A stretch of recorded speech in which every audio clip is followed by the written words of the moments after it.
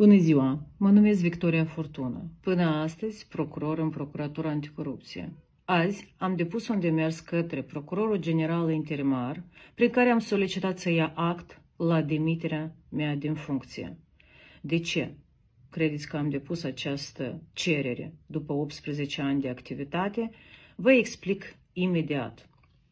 Mai întâi, Vreau să vă aduc la cunoștință că din 14 ianuarie 2024 am primit un șir de acuzații în adresa mea aferent acțiunilor întreprinse pe cauza penală inițiată de către mine pe faptul concentrării instituțiilor publice, cum este Serviciul de Informație și Securitatea Statului, Centrul Național anticorupție, care acționau exclusiv în interesul aparatului președintelor Republicii Moldova, la indicația acestora, prezentau informații strategică distorsionată pentru a prelua sistemul judecătoresc.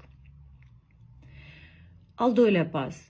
La data de 27 februarie, Serviciul de Informație și Securitatea Statului nu se oprește aici, dar expediază în adresa procurorului general interimar un aviz negativ aferent la procurorul Victoria Furtună, prin care indică că Victoria Furtună prezintă pericol pentru Republica Moldova.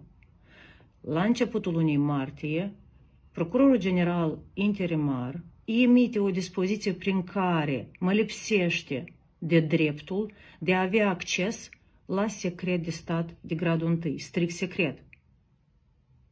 Mă lipsește de acest drept, iar la baza dispoziției emise de către el pune avizul negativ a Serviciului de Informație și Securitate a statului, prin care ultimul s-a expus că procurorul Victoria Furtună, în acțiunile procurorului Victoria Furtună, sunt momente care pun în pericol securitatea Republicii Moldova.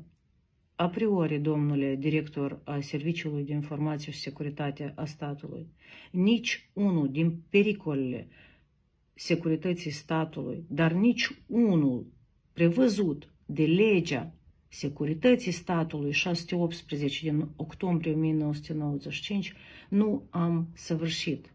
Menționez că astfel de precedente nu am întâlnit în cei 18 ani de activitate. Este un precedent periculos ce ridică semne de întrebare și pentru colegii mei, vreau să vă comunic, în cazul adoptării unor decizii similare. Ori toate tentativele procurorilor de a investiga infracțiuni îndreptate contra interesului public vor fi soldate cu acuzații de genul că procurorul prezintă pericol pentru securitatea statului.